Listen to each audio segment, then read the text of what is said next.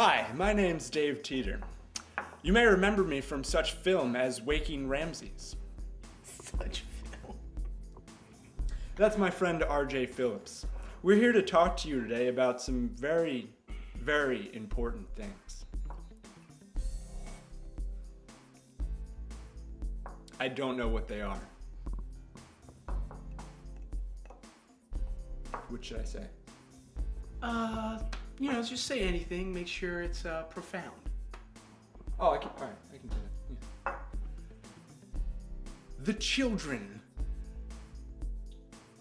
are future. We must grow them. Uh,